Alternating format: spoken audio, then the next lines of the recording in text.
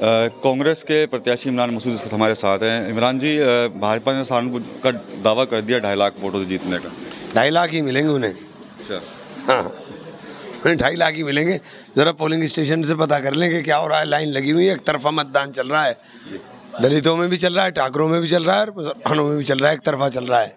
वो तो कहने के विकास के मुद्दे पर हम जीतने ढाई लाख ही वोट मिलेंगे उन्हें इस बार। ढाई लाख ही मिलेंगे। आपको कितने मिलने जा रहे हैं इस बार? आठ लाख से ऊपर। क्या स्थिति है इस समय जो पोलिंग चुनाव है। जी। सब जगह से एक तरफा की रिपोर्ट आ रही है। आराम से खड़ा हूँ मेरे चेहरे का रंगत बता रही है कि हालात क्या है मेरे। क्या अच्छे होने वाले हैं क्या इस बार? अच्छे अच्छे दिन आने वाले हैं हाँ तो मुस्कुराहट चेहरे पे तभी आती है ना आदमी के। बीजेपी वालों के से बात करो आप उनके चेहरे मुस्कुराहट उनके चेहरे की मुस्कुराहट कहाँ गई? उनकी मुस्कुराहट इसीलिए गायब हो गई उन्हें कुछ मिल नहीं रहा बेचारों को।